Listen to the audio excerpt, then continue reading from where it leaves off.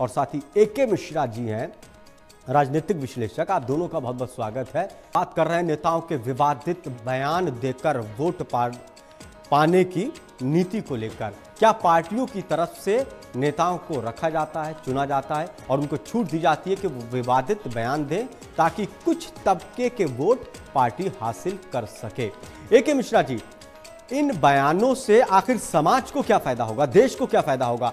चुनाव के वक्त नेताओं को विकास की बात करना चाहिए अपने अपने रिपोर्ट कार्ड रखना चाहिए कि हमने कितना काम किया है। लेकिन ऐसा नहीं कर रहे हैं। रिपोर्ट कार्ड नहीं रख रहे हैं, जबकि विवादित बयान देकर एक बार फिर से कुर्सी तक पहुँचने की इनकी मंशा होती है। आसिफ, आप डे ड्रीमिंग की बात कर रहे हैं। कि मतलब दोपहर में तारे देखना। हाँ। आप ये उम्मीद नहीं कर सकते हैं हमारी सारी पॉलिटिकल पार्टी और सारे नेताओं से और ये देश के लिए बड़े दुर्भाग्य की बात है। इनकी पूरी पाँच साल में आप एक एक नेताओं का एक एक पार्टी का उठा के देख लीजिए विकास के मामले में कितने परसेंट इन लोगों ने बात किया इन लोगों ने डिबेट की इन लोगों ने कोई मैटर प्रेजेंट किया। ज़्यादातर आप देखेंगे 70 पचहत्तर परसेंट इनका जो टाइम होता है इनका जो अल्टीमेट मुद्दा होता है वो ऐसे सेंसेशनल मुद्दे होते हैं जो कि ह्यूमन की लाइफ साइकिल उसकी सोसाइटी या ह्यूमन के अपने इंडिविजुअल जो उसकी थिंकिंग होती है, उससे बहुत को रिलेटेड होते हैं। थोड़ा सा मैकेनिज्म समझिए कि पोलराइजेशन कैसे होता है। मैं थोड़ा टेक्निकल डिटेल में जाना चाहूँगा कि देखिए, जब जब इलेक्शन आता है या वोटरों को अपने फेवर में पब्लिक को अपने फेवर में करने के लिए, दो टर्मिनोलॉजी होती है political cues and trigger political cues ये होता है, ऐसे बयान जो ये देते हैं, वो पॉलिटिकल क्यूज का काम करते हैं और वो पब्लिक में एक सेंसेशन पैदा करते हैं, उनका ध्यान आकर्षण करते हैं। उसके बाद नेक्स्ट स्टेप पे ये लोग क्या करते हैं, अपने कैंपेन को चलाने के लिए कुछ ऐसे एक्टिविटीज़ या ऐसे मैसेज देना या ऐसी एक्टिविटीज़ घटनाएँ करना ताकि वो वोटर जो इनकी तरफ़ अट्रैक्ट हुए हैं, वो लास्ट में वोटिंग डे के दिन बूथ पर जाकर के बूथ, वोट वोट में कन्वर्ट हो। तो ये इनका एक प्रोसीजर है। देखिए मैं बार बार आसिफ बोलता हूँ ये बड़ा टेक्निकल चीज़ है।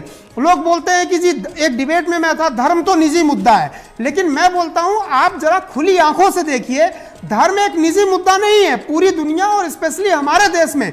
धर्म एक सबसे ज़्यादा सामाजिक मुद्दा है धर्म एक सबसे ज़्यादा राजनीतिक मुद्दा है धर्म एक सबसे ज़्यादा सरकारी मुद्दा है क्लास वन से। आप जब आप पढ़ने जाते हो तभी धर्म का डिक्लेरेशन होता है। ए के मिश्रा जी, अमेरिका में भी अगर चुनाव होते हैं वहाँ भी धर्म एक मुद्दा रहता है। नहीं नहीं, मैं बोलता हूँ, देखिए, धर्म, सोसाइटी का एक बहुत इंपॉर्टेंट पार्ट है। ह्यूमन लाइफ का एक बहुत इंपॉर्टेंट पार्ट है। मैं तो बोलता हूँ, इस चीज़ को मान लेना चाहिए। देखिए, सारी पार्टियाँ बोलेंगी, धर्म एक निजी मुद्दा है, लेकिन सारी पार्टियाँ 90 परसेंट देखोगे, अधिकांश उनकी पूरी कैंपेनिंग वोटों का ध्रुवीकरण और स्पेशली आज के डेट में केवल धर्म पर अवलंबित है, धर्म पर आधारित है। ये सारे जो बयान अभी आ रहे हैं, देखिए, धर्म और जाति को, मैं बोलता हूँ, अगर दो चीज़ों को हटा देना, धर्म और जाति। तो भारत के राजनेताओं के पास ऐसा कुछ है ही नहीं उनके रिपोर्ट कार्ड में जिसको कि वो दिखा सके और क्लेम कर सके कि इस इस मुद्दे पे आप रिपोर्ट दीजिए। ए मिश्रा जी क्या धर्म और जाति के नाम पर राजनीति करना काफ़ी ज़्यादा आसान होता है? चुनाव प्रचार करना काफ़ी आसान होता है? क्या इसीलिए राजनीतिक दल इस रास्ते को अपना रहे हैं? डेफिनेटली आसिफ देखिए उसका एक साइकोलॉजिकल और साइंटिफिक रीजन है। आप देखिए आदमी एक कॉमन आदमी या वोटर जो होता है वो प्रभावित कैसे होता है? वोटर भी जो है वो भी तो एक ह्यूमन बीइंग है ना? और ह्यूमन बीइंग का सबसे ज़्यादा आस्था सबसे ज़्यादा लगाव जिन चीज़ों से होता है जब आप उसके अंदर कोई सेंसेशन प्रेजेंट करते हैं तो वो पूरा का पूरा उसको झकझोर के रख देता है उस आदमी को। तो अगर किसी भी आदमी को किसी भी वोटर को एक्टिवेट आपको करना है तो ये पॉलिटिकल पार्टी या किसी भी आदमी को ऐसे मुद्दों को चुनिए जो उसके लिए सबसे ज़्यादा सेंसिटिव मुद्दा है। अगर आप एक लिस्ट बनाए सबसे ज़्यादा सेंसिटिव मुद्दा कौन सा है तो जितनी हिस्टोरिकल चीज़ें हैं, जैसे देखिए, सबसे पहले धर्म आया। धर्म बहुत पुरानी चीज़ है। वो सबसे ज़्यादा सेंसेशन पैदा करने वाली चीज़ है। उसके बाद जाति पाति की चीज़ें हैं, ये भी बहुत पुरानी चीज़ है।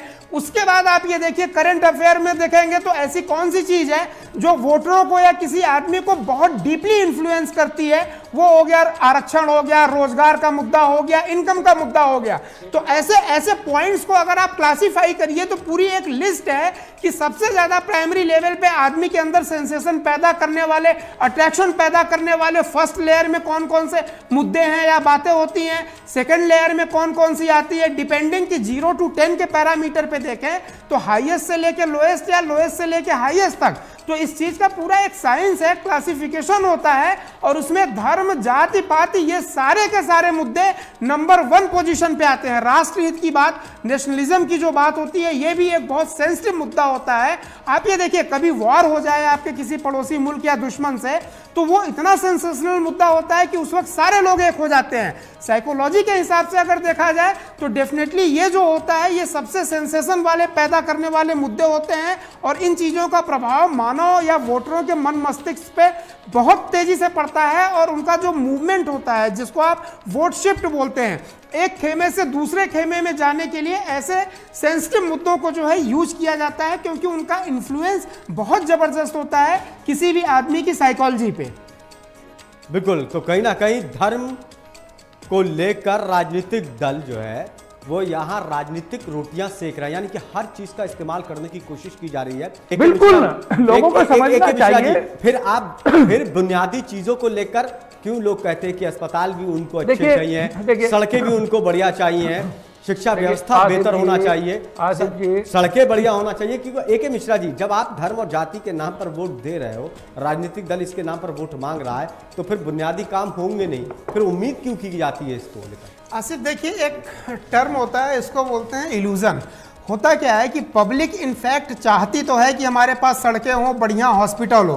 लेकिन सवाल ये होता है कि अगर आप दो मुद्दों को दो प्रॉब्लम को तो एक कॉमन के वक्त कम से कम हिसाब किताब तो लो। नहीं नहीं मैं आपको बता रहा हूँ। देखिए यही होता है। इसके नाम पर। भाई आदमी देखिए आप इसको एक ये साइकोलॉजी का अगेन मतलब political psychology and political behaviour का है। मैं बोलता हूँ कि मेरे घर के सामने जो सड़क है रोज उसमें गिर करके पैर टूटते हैं चोट लगती है। और रोज हम गवर्नमेंट को कोसते हैं कि भाई सड़क नहीं बना रही है। लेकिन महीने दो महीने पहले जब कैंपेन ये लोग चलाते हैं पॉलिटिकल पार्टी तो उसमें मुद्दे ऐसे होते हैं।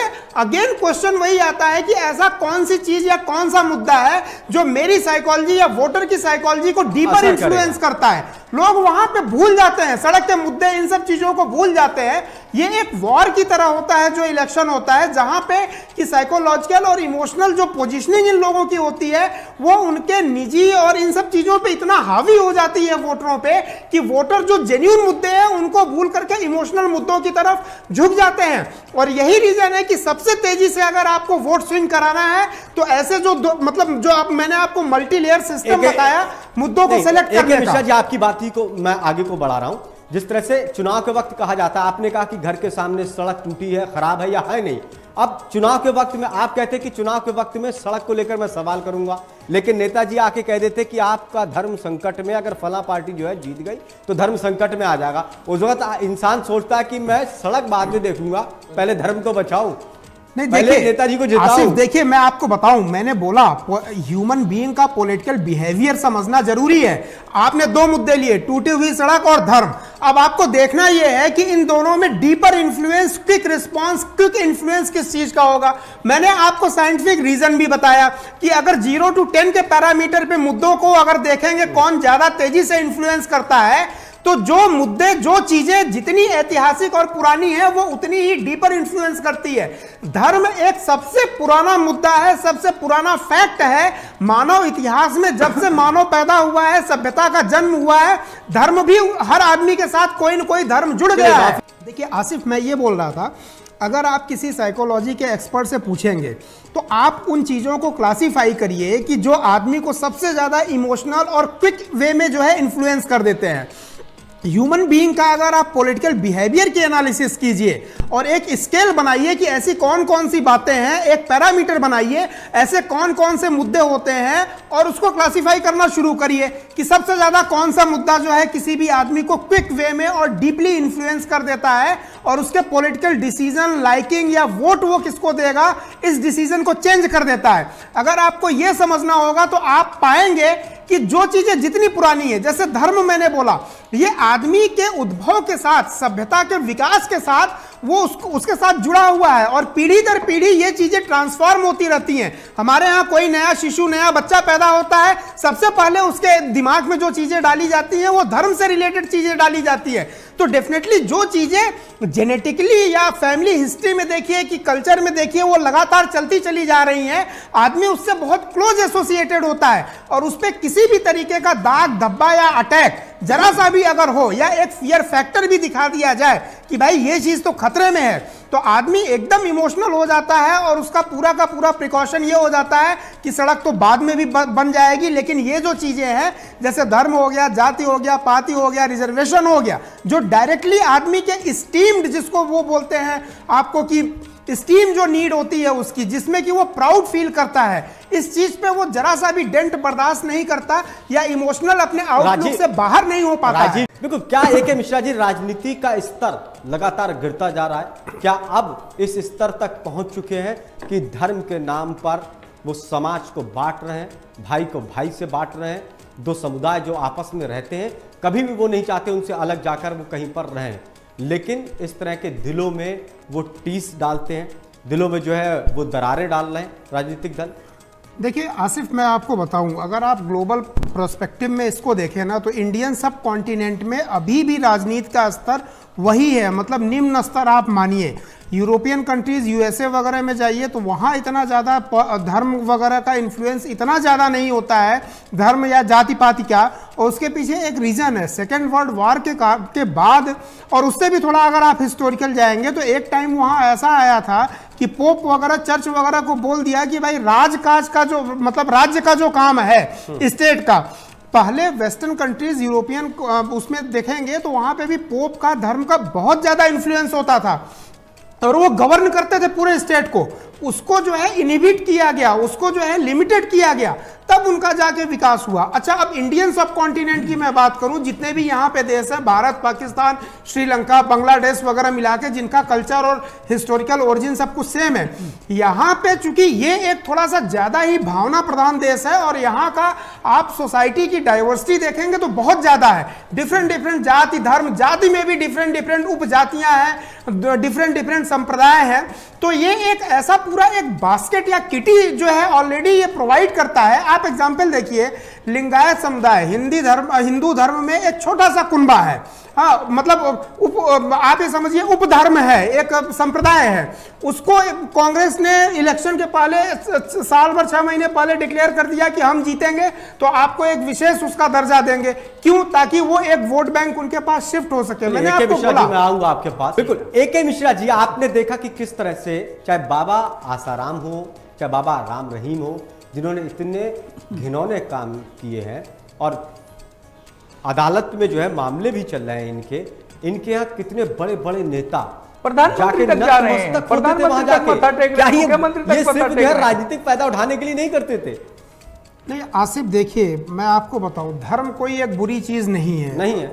धर्म का अच्छे काम का मतलब नहीं, है सुनिए धर्म का उद्भव कब हुआ? सिविलाइजेशन में जब आदमी असभ्य था और जनसंख्या बढ़ने लगी तो कंट्रोल करने के लिए और ये बताने के लिए कि क्या नैतिक है क्या अनैतिक है हमें एक दूसरे के साथ कैसा रहना चाहिए हमारी लाइफ स्टाइल कैसी हो हमें क्या करना चाहिए क्या नहीं। यही सवाल यह है कि धर्म का दुरुपयोग हो रहा है। राजनेताओं की तो आदत होती है कि हर चीज़ के लिए हर चीज़ का यूज़ अपने फ़ायदे के लिए करना है। हाँ। मैं एक एग्ज़ाम्पल दूँगा। आपने बोला था कि राम मंदिर का मुद्दा जो है बीजेपी वाले बोल रहे हैं जी हम छोड़ेंगे नहीं।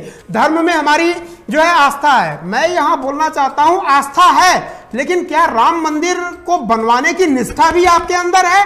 शायद नहीं, नहीं है। नहीं अगर होती आप तो यही एक, आप यही चीज़ देखिए सोमनाथ मंदिर का पुनर्निर्माण होना था कांग्रेस ने कानून पास करके करवा दिया कोई बलवा कोई कुछ ऐसा नहीं हुआ। रामलला के जो ताले खुले थे वो भी कांग्रेस के जमाने में ही खुले थे और बड़े आराम से हो गया कहीं कुछ नहीं हुआ। होता ये है स्क्वीज करना। स्क्वीज करने का मतलब ये जो पॉलिटिशियंस हैं बालू से तेल निकालना अगर कोई सीखे तो उनसे सीखे। खराब कर देते। हैं हाँ ये ये मुद्दे को सहमति बन रही है वो ये, नहीं चाहते ये मुद्दे को अंतिम क्षण तक उसको इनकैश करते हैं। वो कोई भी मुद्दा हो धर्म का हो जाति का हो पात का मैं बोलता हूँ जितने धर्म गुरु हैं आपने जो नाम लिए हैं वो किसी भी धर्म के हो चाहे वो जामा मस्जिद के इमाम साहब हो आप उनसे जरा ये पूछिए या किसी भी धर्म के हो उनसे पूछिए। कि धर्म का जो सही उपयोग है आपने अपनी ज़िंदगी में कितनी बार किया? आप अपने पर्सनल फ़ायदे के लिए यूज़ करते हो। पर्सनल जब कोई मैटर होता है तो संसद में वो बिल वो कानून एक मिनट के भीतर जो है पास हो जाता है। जैसे तनख्वाह बढ़ाने का ये सब चीज़ें हुई। सब सब सहमत हैं। चार साल में सैकड़ों कानून बीजेपी ने या दूसरी गवर्नमेंट ने भी तुरंत पास कर दिए किसी को पता नहीं चला। मैं बोलता हूँ जो इतना मतलब इतना सेंसिटिव मुद्दा है उसको खत्म आपको करना ही है और आप बोल रहे हो कि जी राम मंदिर तो बनेगा ही। अरे नाक पकड़नी है तो आपके पास सारे पावर निहित है। आप सोमनाथ मंदिर की तरह जैसे कांग्रेस ने किया एक छोटा सा बिल लाइए हमेशा हमेशा के लिए इस लफड़े को खत्म कर दीजिए। लेकिन ये चलता रहेगा ये मुद्दा कहीं वहाँ चलेगा कहीं वहाँ चलेगा क्योंकि इससे सारी पार्टियों को किसी न किसी तरीके देखिए केवल बीजेपी को फ़ायदा नहीं है। अब राम मंदिर का अगर मुद्दा है तो दूसरी पार्टियाँ इसलिए कि भाई बाकी के वोटर हमारी तरफ़ आ जाओ। बाकी के वोटर हमारी तरफ़ आ जाओ। राम मंदिर को बनाने में देखिए सब बोलते हैं आस्था है लेकिन मैं पूछना चाहता हूँ आपकी निष्ठा है राम मंदिर में? जब तक निष्ठा नहीं होगी तब तक कार्य का संपादन नहीं होता है एग्जीक्यूशन ऑफ़ टास्क नहीं होता है तो वो निष्ठा नहीं है निष्ठा तो इनकी पॉलिटिकल है।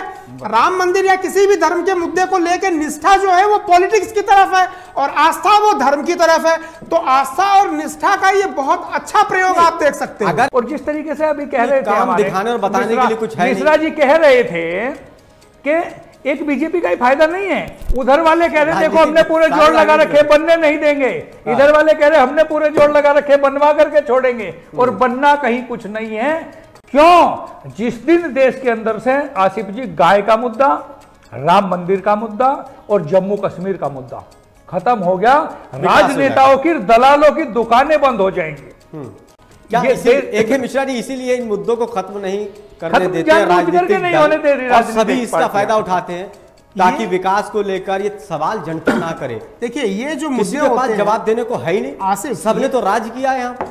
ये मुद्दे जो है ना आप इनको ऑक्सीजन समझिए पॉलिटिक्स के लिए। आप हाँ। इनको लाइफ लाइन समझिए। मैंने आपको बोला इंडियन सब कॉन्टिनेंट के किसी भी कंट्री में आप जाके देख लीजिए कुछ मुद्दे ऐसे हैं जो एवरग्रीन होते हैं जिनका किसी भी मौसम में प्रयोग किया जा सकता है और वो कभी असफल नहीं होते हैं। हाँ। और उन मुद्दों को मैंने गिनाया जो जितना पुराना ह्यूमन बिहेवियर से रिलेटेड पॉलिटिकल बिहेवियर से रिलेटेड जितनी पुरानी चीज़ें हैं आदमी के साथ जुड़ी हैं वो सबसे गंभीर सबसे सेंसिटिव मुद्दा होता है। अच्छा अब इसमें सवाल ये होता है कि हम करें तो क्या करें? देखिए या तो पॉलिटिकल पार्टियाँ सुधर जाए उनके अंदर भगवान इतनी सद्बुद्धि दे दे कि वो इन चीज़ों का यूज़ हो जाए। हाँ या या वोटर सुधर जाए वोटर इन चीज़ों को नकार दे। बोले कि भाई जो इस मुद्दे पे बात करेगा हमें करना नहीं है।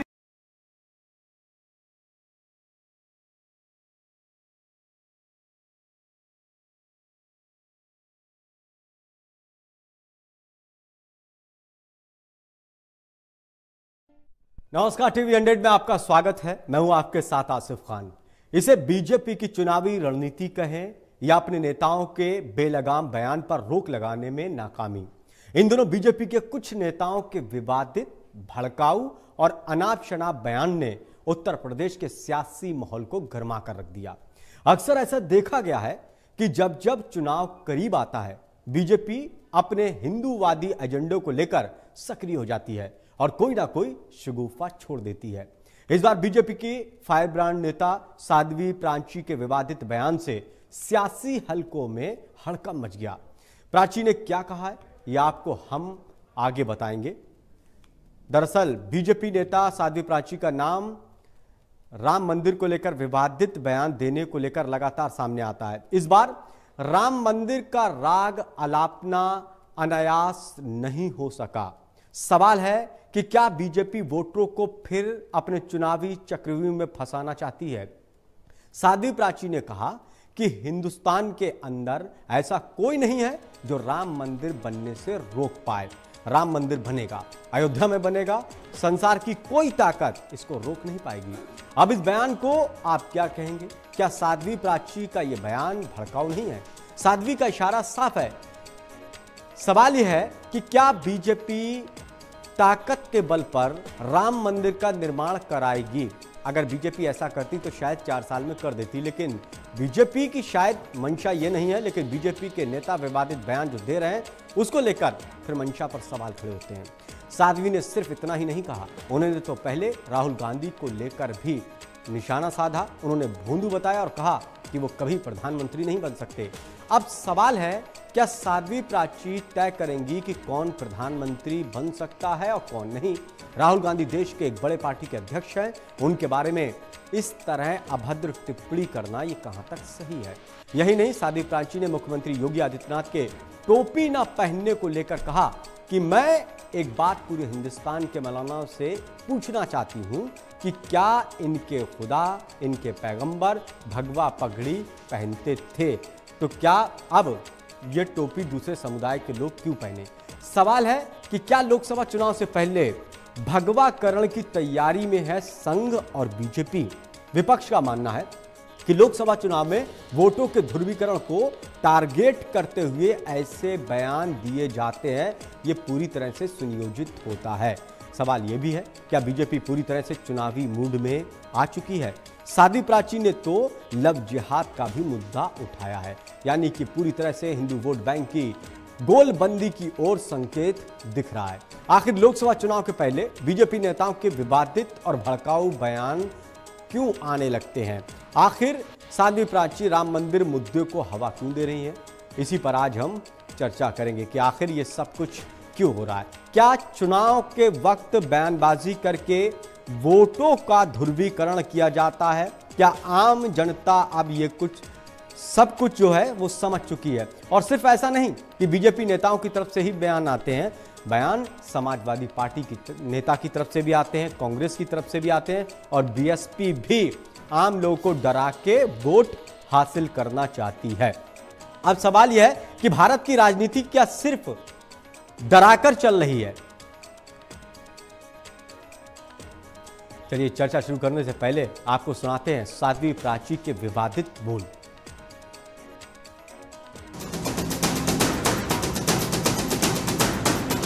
राहुल गांधी तो बोंदू है। ऐसे बोंदू का नंबर कभी ज़िंदगी में नहीं पढ़ पाएगा। राहुल गांधी को बल्कि सलाह देती हूँ, सोनिया गांधी को सलाह देती हूँ, जल्दी से जल्दी, क्योंकि ये युवा नहीं रहे अब राहुल गांधी इनकी जल्दी से जल्दी शादी की जाए और अपनी गृहस्थी बसा करके उसमें आ, आ, मस्त रहे। प्रधानमंत्री ज़िंदगी में नहीं बन पाएँगे राहुल गांधी। हिंदुस्तान के जो सेकुलर सेकुलरवादी लक्कड़ भग्गे हैं वो सब इकट्ठे हो गए किसी तरह राम मंदिर ना बनाया जाए। क्योंकि राम मंदिर बनेगा तो राम राज आएगा और राम राज आएगा तो ये लक्कड़ भग्गे नहीं चाहते कि हिंदुस्तान में राम राज आए। लेकिन रही बात तो राम मंदिर की, हिंदुस्तान के अंदर किसी ने अपनी माँ का दूध नहीं पिया जो राम मंदिर को रोक पाए। राम मंदिर बनेगा, अयोध्या में बनेगा, संसार की कोई ताकत रोक नहीं पाए। वैसे अभी केंद्र सरकार से भी मैं अनुरोध करती हूँ और मैं जल्दी से जल्दी प्रयास करूँगी कि देश के प्रधानमंत्री जी से मिलकर के ये निवेदन करूँगी कि कोर्ट के माध्यम से अगर फैसला हिंदुओं के पक्ष में, राम मंदिर के पक्ष में आने की उम्मीद है या नहीं, वो तो वो जाने। कोर्ट जाने, कोर्ट का फैसला है। कोर्ट का हम सम्मान करते हैं, लेकिन प्रधानमंत्री जी से मैं निवेदन करूँगी कि जैसे सोमनाथ मंदिर के लिए कानून बनाया गया था, वैसे ही राम मंदिर के लिए भी कानून संसद में कानून बना करके हिंदुस्तान के अंदर राम मंदिर का, की स्थापना राम मंदिर का भव्य निर्माण हो, राम मंदिर बने, उसके लिए प्रयास किया योगी जी का बहुत अच्छा फैसला, और मैं समझ, मैं एक बात पूछना चाहती हूँ हिंदुस्तान के मौलानाओं को। क्या इनका खुदा, क्या इनका पैगंबर भगवा पगड़ी पहनते थे? जो ये मोदी जी के लिए प्रेशर करते हैं, योगी जी पर दबाव डालते हैं कि जालीदार टोपी पहने। आखिर क्यों जालीदार टोपी पहने? क्यों ये जब एक प्रधानमंत्री को दबाव दे सकते हैं, मुख्यमंत्री को ये दबाव दे सकते हैं, इसका मतलब साफ़ साफ़ रास्ता है साफ़ साफ़ बात है कि हिंदुस्तान के अंदर क्या व्यक्तिगत स्वतंत्रता देश के मुख्यमंत्री को नहीं है और देश के मुख्यमंत्री को पर भी दबाव डाल रहे हैं कि जालीदार टोपी पहने, क्यों पहने? किस लिए पहननी चाहिए? ये बहुत अच्छा निर्णय रहा। और इन, मैं मौलानाओं से पूछना चाहती हूँ, क्या ये तिलक लगाने के लिए तैयार है? चाहे वो आज़म खान है, या ओबेसी है, या फिर गुलाम नबी आज़ाद है, ये तिलक लगाने के लिए तैयार है? ये हमारे मंदिर में आरती करने के लिए तैयार है क्या? अगर ये हमारे मंदिर में आरती करने के लिए तैयार है, तिलक लगाने के तैयार है तो मैं तिलक लगाने के लिए आ रही हूँ। बताओ, लेकिन बार बार ये प्रोपगंडा करना, कभी प्रधानमंत्री को टोपी पहनाएँगे जालीदार, कभी मुख्यमंत्री को टोपी पहनाएँगे जालीदार, ये अच्छा नहीं है। ये गलत बात है और इस तरह की मानसिकता को बदल ले। हिंदुस्तान है, पाकिस्तान नहीं है। हिंदू राष्ट्र है। जब देश आज़ाद हुआ था तो देश के दो टुकड़े किए गए थे, एक पाकिस्तान और हिंदुस्तान। हिंदुस्तान हिंदुओं के लिए था। हिंदुस्तान है। इसे हिंदुस्तान को हिंदू राष्ट्र बनाने की और उसकी ज़रूरत नहीं। हिंदू राष्ट्र है, हिंदू राष्ट्र था, हिंदू राष्ट्र रहेगा।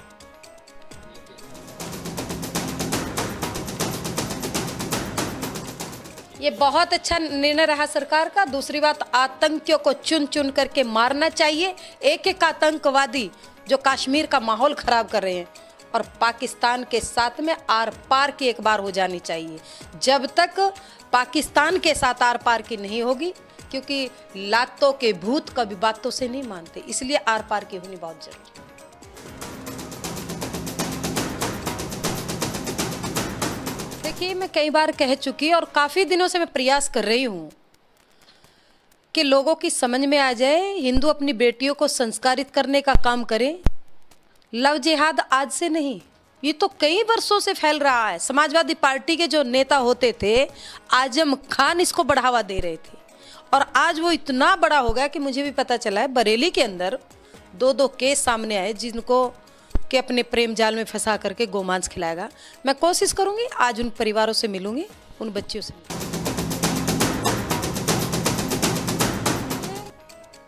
साध्वी प्राची विवादित बयान को लेकर जानी जाती है। एक बार फिर से विवादित बयान दिया।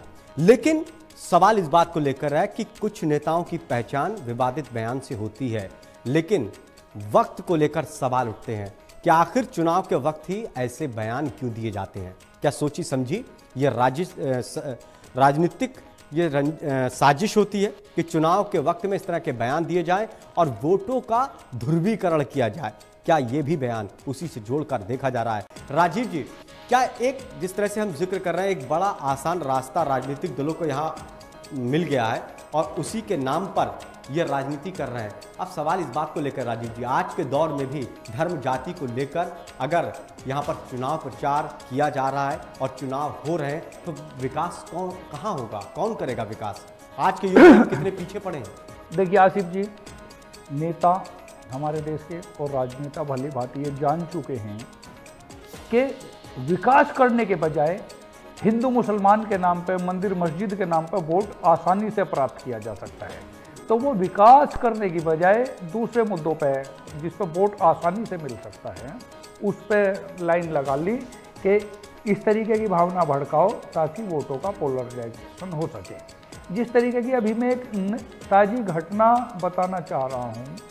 अभी जम्मू कश्मीर में एक सैनिक, औरंगज़ेब साहब, शहीद हो गए आतंकी घटना में और एक पत्रकार, सुजात आलम सुजात आलम साहब।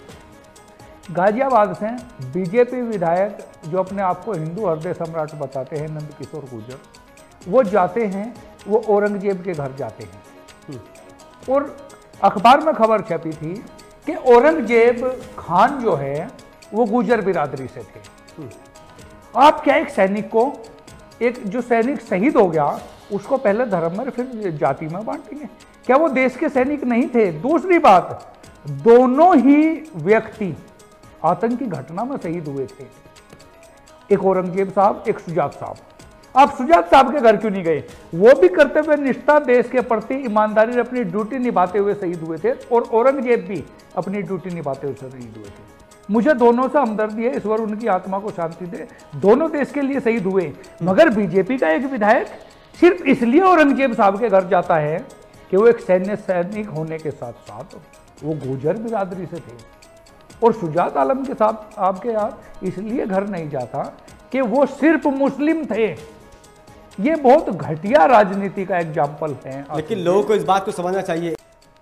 राजीव जी जिस तरह से बयान आया चुनाव करीब में है अब क्या माना जाए कि चुनाव को लेकर वोटों के ध्रुवीकरण को लेकर क्या इस तरह के बयान दिए जा रहे हैं? ये बयान दिए नहीं जाते हैं। इस तरीके के बयान चुनावी माहौल में दिलवाए जाते हैं। पार्टी के जो वरिष्ठ नेता होते हैं, हर पार्टी में कुछ इस तरीके के नेता पाल रखे हैं, साध्वी प्राची जैसे। साध्वी प्राची है, साक्षी महाराज है, सपा में आज़म खान है, बेनी प्रसाद है, कांग्रेस में दिग्विजय सिंह है, मणिशंकर अय्यर है, हर पार्टी में, तमाम पार्टियों में, बसपा में भी हैं कुछ लोग, इस तरीके के नेता पाल रखे हैं। जब चुनावी माहौल आता है तो वो कट्टरता कट्टरता की बात करके एक समुदाय को अपने अपने समुदाय को या जो उनका वोट बैंक का जो एक सिंडिकेट है उसको अपनी तरफ़ अग्रसारित करते हैं। अब देखिए कायदे में तो जब मामला राम मंदिर का माननीय सर्वोच्च न्यायालय में विचाराधीन है। आपने देखा होगा और ये कानूनी पहलू भी है कि जिस मामले में कोई भी मामला कोर्ट में विचाराधीन हो उसमें कोई भी क्रिया प्रतिक्रिया नेता पत्रकार किसी को कोई अधिकार नहीं है करने का। ऐसा है। मगर राम मंदिर के मुद्दे पर जब भी बात आती है बीजेपी के नेता ठोक बजा के दावा करते हैं कि राम मंदिर बनेगा वहीं बनेगा। अगर सारी चीज़ आप ही के तरीके से चलेंगी तो फिर मान्य न्यायालय की ज़रूरत कहाँ रह गई? आप खत्म करिए ना सुप्रीम कोर्ट से मैटर खत्म कर दीजिए। आपके पास सांसद भी हैं विधायक भी है लोकसभा भी फिर ये कहा जाता कि कोर्ट का निर्णय जो आएगा उसके बाद मैं वहीं आ रहा हूँ। एक तरफ़ ये भी कहते हैं कि हम माननीय उच्च न्यायालय के आदेश का सम्मान करेंगे सर्वोच्च हाँ। न्यायालय के आदेश का।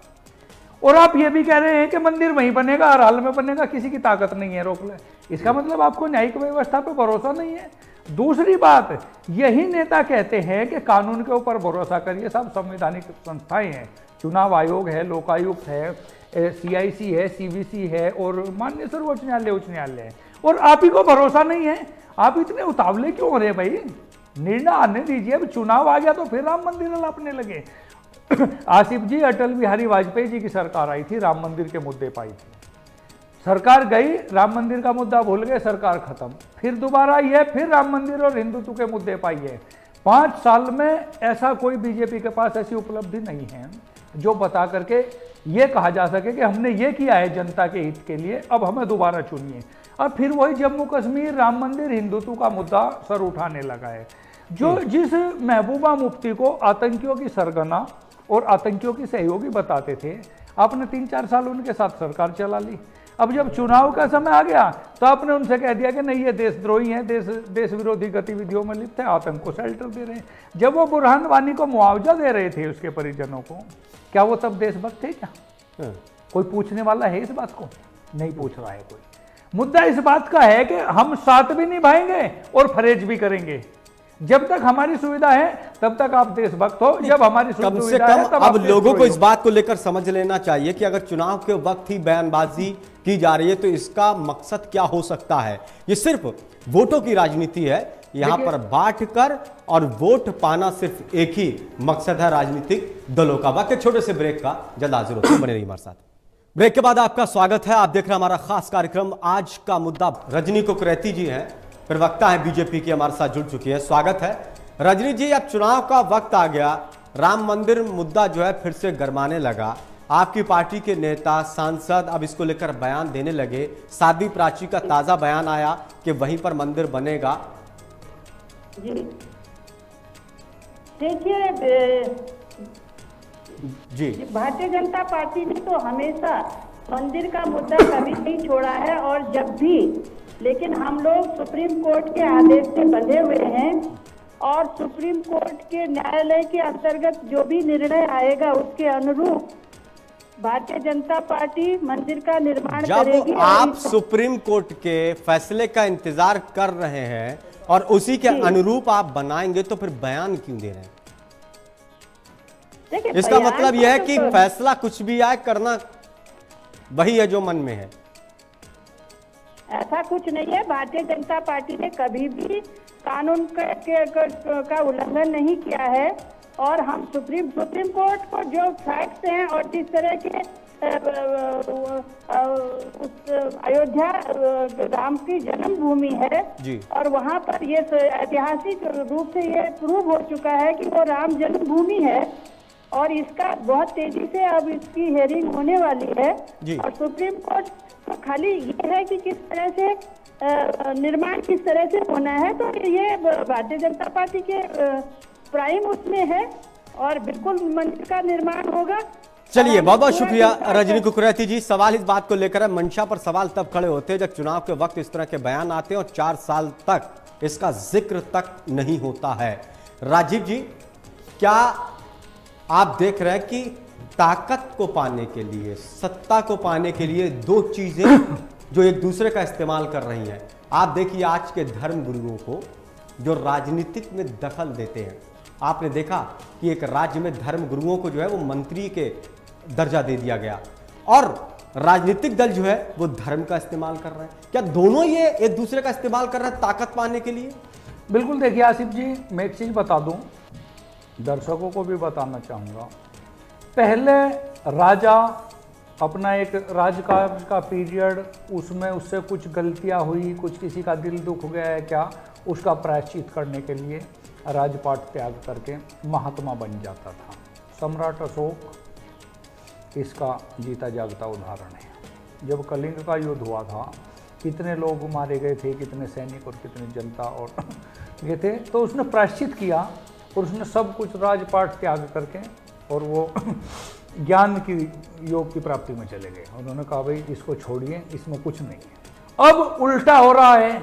अब बाबा धार्मिक स्थल छोड़ करके धर्म की शिक्षा दीक्षा छोड़ के राजनीतिक राजनीति में जा रहे हैं मंत्री बनने राजनीति का पाठ पढ़ा रहे देखिए पहले राजपाट से जो कुछ गलती या जाने जाने में कुछ हो जाता था उसके प्राश्चित के लिए धार्मिक रास्ता अपनाते थे।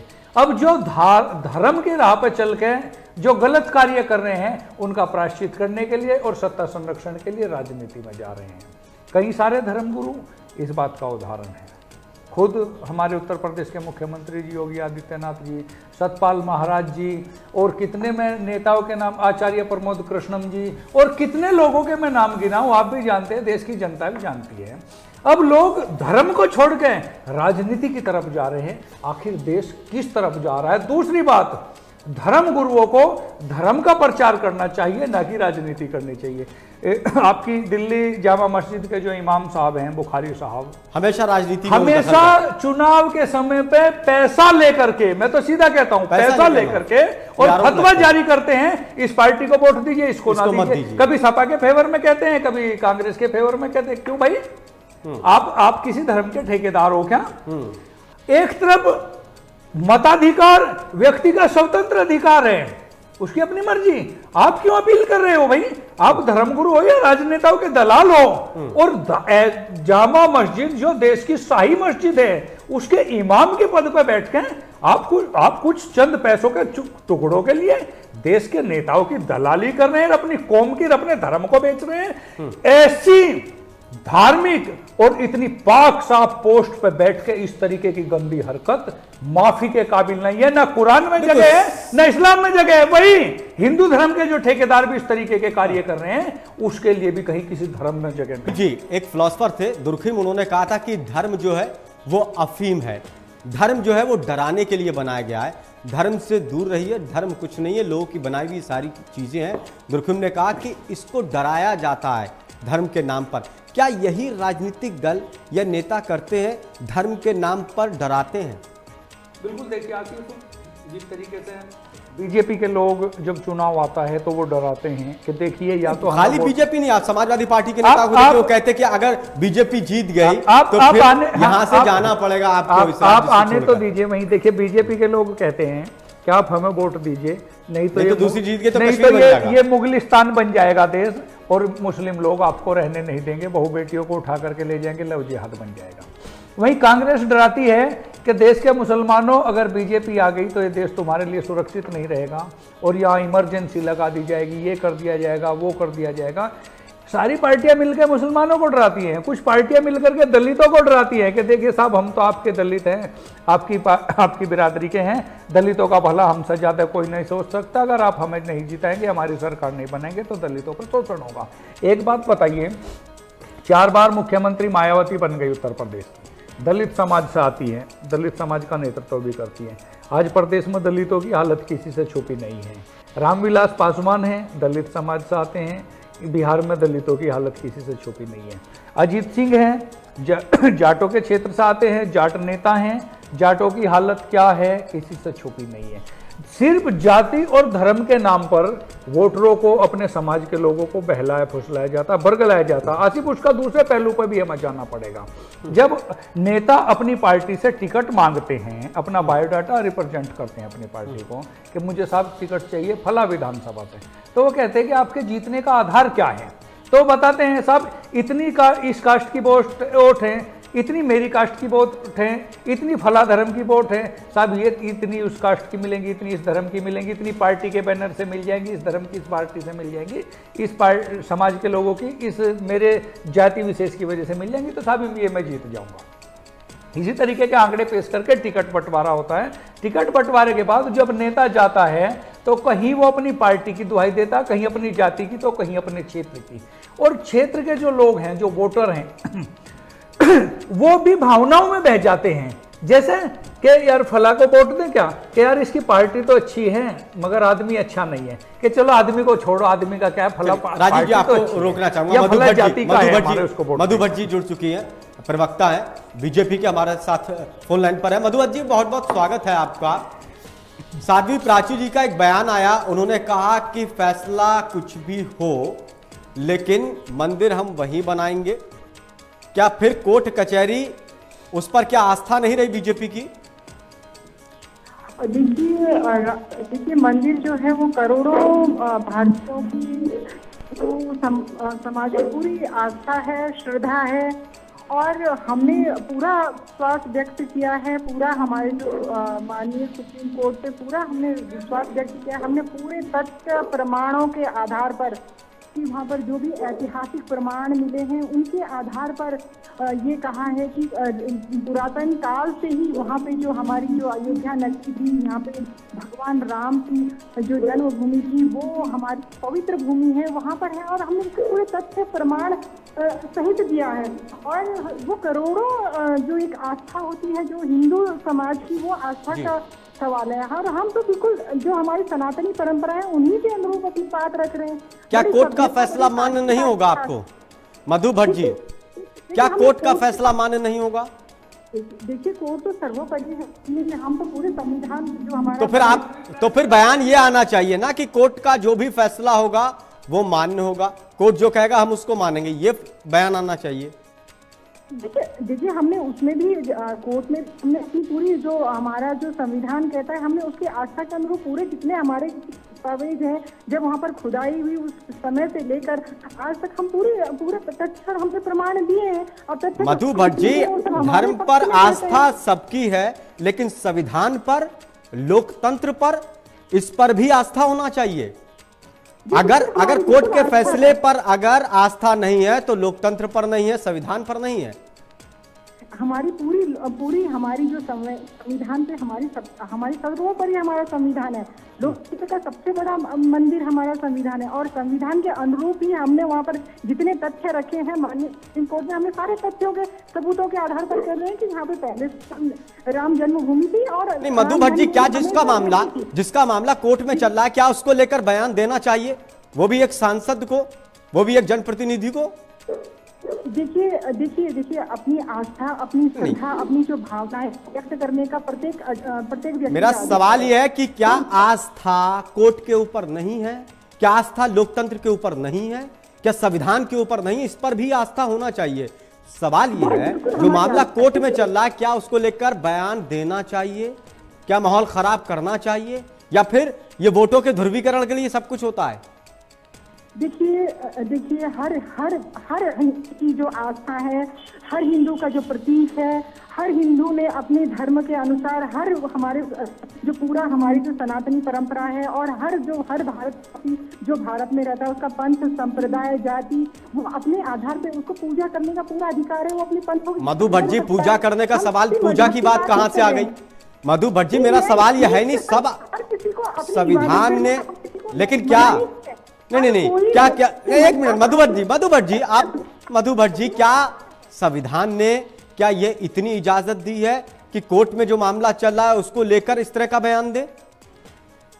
कि काम तो वो होगा ही होगा काम हो गई होगा इसका मतलब क्या इसका मतलब कोर्ट का फैसला फिर अलग है कि काम होने होना फिर कोर्ट को क्यों आप वहाँ पर मामला है। देखिए, अपनी आस्था, अपनी श्रद्धा अगर हर हिंदू और हर कोई भी अगर अपनी आस्था व्यक्त करना चाहता है तो उसमें उसमें ये बात कहाँ से आ गई कि कोर्ट का नहीं मान रहे हैं, और कोर्ट का मानेंगे या नहीं मानेंगे, ऐसी कोई बात नहीं है। सब आस्था है कि राम मंदिर जो हमारा पुराना हमारा जो परंपरा है उसके अनुरूप वहाँ पर बनना चाहिए। तो ये हमारी आस्था है करोड़ों ही लेकिन मधु भट्ट जी मधु भट्ट जी तो मधु भट्ट जी क्या मधु भट्ट जी भारत के लोग चाहते हैं कि मंदिर बने वहीं पर बने। हिंदू मुस्लिम सब चाहते हैं कि मंदिर वहाँ पर बने ये आस्था का मामला है। क्या राजनीतिक दल क्या इस काम को होने नहीं दे रहे? क्या इस मुद्दे को खत्म नहीं होने दे रहे? अब तो ये कहने लगे भारत के लोग। देखिए, हम वही कह रहे हैं कि जब जब बात ये आई तो हमने कहा, ठीक है, हमने जितने तथ्य दिए हैं, अगर आप लोग कोर्ट में जाना चाहते हमने सारे तथ्य प्रमाण के साथ वहाँ पर कोर्ट में अपने सारे दस्तावेज़ भी रख दी अब कई लोगों का हमने ये कहा कि ये मामला अगर हर धर्मावलंबी हमारे साथ आकर हर सबका हर का अगर मत ये बनता है कि ठीक है मंदिर मंदिर वहीं पर बनना चाहिए। तो हम्म। इसमें इसमें बिल्कुल सब क्योंकि सर्वधर्म संभाव हम तो यही कहते हैं हम तो ये कहते हैं कि पूरा मधु भट्ट जी मधु भट्ट जी मेरा सवाल यह था क्या राजनीतिक दल खुद ही मंदिर बनने में रोड़ा बने हुए हैं? क्योंकि एक दल अगर अपने घोषणा पत्र में शामिल कर ले कि मंदिर हम बनवाएँगे तो फिर दूसरा राजनीतिक दल जो है, वो कोशिश करता है कि ना बने, क्योंकि इनके घोषणा पत्र में शामिल है। वो सहयोग इस बात को लेकर नहीं करता है। अगर बन गया तो ये होगा कि इस पार्टी ने मंदिर बनवा दिया। इनके घोषणा पत्र में था, उसका फ़ायदा वो उठा सकते हैं। इसलिए दूसरी पार्टी उसका विरोध करती है। देखिए ये ये बहुत ही देखिए दूसरे अन्य द, अन्य द, अन्य दलों ने इसको इसको एक ज़बरदस्ती का राजनीति करने का जो करोड़ों की जो श्रद्धालुओं की जो भारतवासियों की जो आस्था है उसको उसको क्षति पहुँचाने का काम किया है। मैं तो हर किसी दल हर किसी क्योंकि हमारे पास हर धर्म के हर के सब लोग सम्मिलित हैं और सबकी यही है यही आस्था है कि नहीं जहाँ पे अगर जहाँ पे इतिहास गवाह है जहाँ पे जो साक्ष्य मिले हैं उन प्रमाणों के आधार पर जहाँ पर मंदिर बनना चाहिए वहाँ पे देखो मंदिर ही बनना चाहिए। तो इसमें मधु भट्ट जी अगर अगर अगर आप चाह रहे हैं अगर आस्था अगर आप चाह रहे हैं कि आस्था के हिसाब से मंदिर बन जाए और आपने लोकसभा चुनाव में वायदा भी किया था और आपने ये भी कहा था कि हम कानून बनाएँगे अगर पूर्ण बहुमत की सरकार बन गई क्यों नहीं कानून बना रहे हैं आप? क्या आप खुद नहीं चाहते कि मंदिर बने? नहीं देखिए हमारे हमने तो कहा है कि हम बिल्कुल हम मंदिर वहीं बनाएँगे और हम सबको लेकर साथ में चलेंगे। सर्वधर्म संभाव की नहीं आपने कहा था कि इसको लेकर कानून बनाएँगे। बीजेपी ने वायदा किया था कि कानून बनाएँगे। कहाँ आप कानून बना रहे हैं? आप पूर्ण बहुमत की सरकार है आपकी। अब चार साल निकल गए अब चुनाव का वक्त है फिर से आप वही राग अलाप रहे देखिए आप आप वक्त देखिए आप वक्त का इंतज़ार करिए आप देखिए जहाँ चार साल तो इंतज़ार कर लिया देश के लोग चाह रहे हैं कि समस्या का समाधान हो जाए लेकिन होने नहीं दे रहे राजनीतिक दल। निश्चित रूप से समस्या का समाधान होगा। आपने देखा है कि किस प्रकार से ये दल हैं कभी कई बार सर्जिकल स्ट्राइक के प्रमाण पत्र मांगते ऐसे ऐसे ऐसे लोगों के सामने हमें तो आ, उस तरीके से पूरे देखिए मधु भट्ट जी ऐसे नेता जो कहते हैं कि मुसलमानों के लिए जगह पाकिस्तान है हिंदुओं की जगह है हिंदुस्तान है और मंदिर वहाँ बनकर ही रहेगा। और कुछ आपके नेता कहते हैं कि एक बलिदान और देना पड़ेगा। इसका मतलब क्या? इस तरह का बयान देके ये नेता लोग जो है ये खुद नहीं चाहते कि ये बने। ये मुद्दा खत्म हो। देखिए जबकि सारे धर्म के सारे जाति के लोग सब चाहते हैं कि बन जाए मंदिर। सब यही चाहते हैं। जी जी जी। जी बिल्कुल आपने कहा कि हम बिल्कुल उसी तरीके से हम चाहते हैं देखिए जो हिंदुस्तान में जो पैदा हुआ है वो यही यही का नागरिक है उसको सारे मौलिक अधिकार हैं।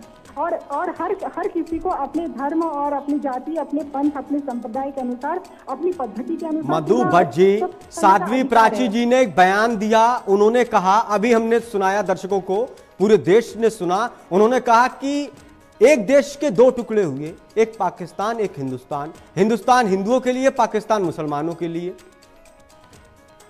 देखिए ये तो हमने नहीं वो लोग जो अपने धर्म पर जो अपने देश पर आस्था रख रहे थे जिनको अपनी मिट्टी से प्यार था क्या आप अपना अपमान कर रहे हैं उनका? देखिए हमने कहा हम तो ये तो हमने तो धर्मनिरपेक्ष हमारा देश है और हमने कहा है कि हम सब सब धर्म कहाँ से धर्मनिरपेक्ष हो। गया फिर? अगर इस तरह के बयान आ रहे हैं तो फिर आपकी तरफ़ से पार्टी की तरफ़ से क्यों नहीं कार्रवाई हो रही है? अपना पर्सनल देखिए अपना पर्सनल अपना व्यक्तिगत क्या मामला है व्यक्तिगत कौन क्या बयान बयान नहीं आपके सांसद हैं पार्टी की तरफ़ से पार्टी की तरफ़ से कार्रवाई होना चाहिए अगर इस तरह का बयान आ रहा है क्यों नहीं हो रहा है? देखिए देखिए निश्चित निश्चित रूप से अगर कोई इस तरह की बयानबाजी होती है तो उसको पार्टी संज्ञान में कहाँ कार्रवाई होती है?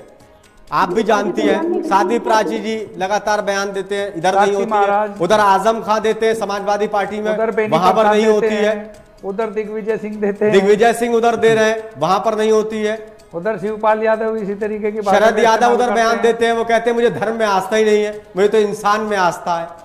वो बयान देते कहा कार्रवाई? अगर राजनीतिक दल कार्रवाई करें तो शायद इस समस्या का समाधान हो जाए। शुक्रिया मधु जी हमसे बातचीत करने के लिए। राजीव जी क्या ये सुनियोजित होता है?